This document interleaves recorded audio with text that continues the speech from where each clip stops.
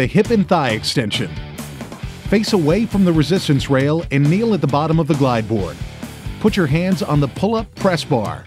With shoulders and arms remaining stationary, push the glide board upward using your legs and hips and then return.